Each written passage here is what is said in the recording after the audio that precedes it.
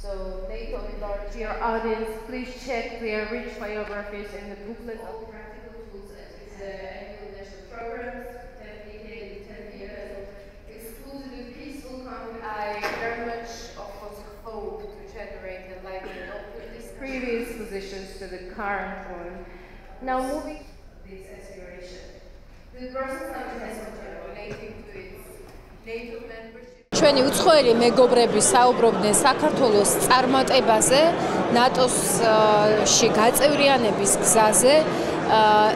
ჩვენ ვახორციელებთ ძალიან წარმატებულ რეფორმებს ბევრ სფეროში, ეს ეხება როგორც თავდასხმას, ისე ზოგადად მთლიან დემოკრატიულ დღის წესრიგს და ამაზე ფაქტობრივად არანაირი კითხვის ნიშნები არ არსებობს. პირიქით საქართველოს რეფორმების წარმატების მხრივ არის ნამდვილად გამორჩეული ქვეყანა და ბევრისათვის ნატოს სხვა მეგობარი ქვეყნებისათვის ეს არის მისაბაზი ქვეყანა მისი წარმატების მაჩვენებლიდან გამომდინარე. ჩვენ ახლა დავასრულეთ დისკუსია ნატოს ღია კარის პოლიტიკაზე და ბრიუსელის სამიტის შედეგებზე საქართველოსთვის. ეს იყო ძალიან კარგი სამიტი, რომელშიც საქართველოს პრეზიდენტი ნატოს წევრი ქვეყნების მთავრობის ხელმძღვანელებთან ერთად იღებდა მონაწილეობას. ამ სამიტზე საქართველო კიდევ ერთხელ დაარწმუნეს იმაში, რომ ნატოს კარი ღიაა და ის ალიანსის წევრი აუცილებლად გახდება. თუ როდის მოხდება ეს კონკრეტულად ამასთან დაკავშირებით ნატოს წევრი ქვეყნების პოლიტიკურ გადაწყვეტილებას ველოდებით. ჩვენ ძალიან ინტენსიურად ვმუშაობთ ქართულ მხარესთან, რათა გავაძლიეროთ საქართველოს უსაფრთხოება და თავდაცვის უნარიანობა.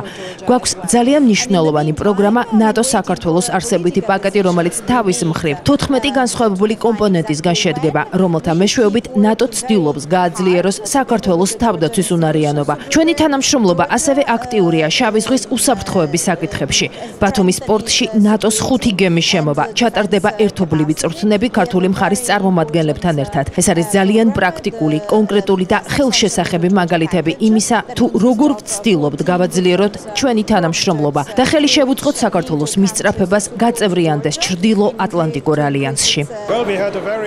ძალიან საინტერესო პანელი ქონდა ამერიკის შეერთებული შტატებიდან, თურქეთიდან, გერმანიიდან და უნგრეთიდან წარმოდგენილი მომხსენებლების მონაწილეობით.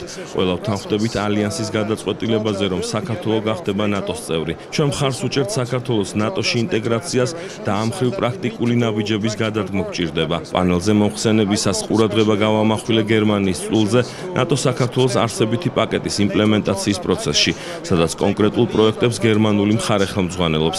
ასევე ვისაუბრე ნატოს შავი ზღვის უსაფრთხოების პოლიტიკაზე. ჩემთვის დიდი პატივია, რომ დღეს საქართველოს თავდაცვისა და უსაფრთხოების კონფერენციას ვესწრები.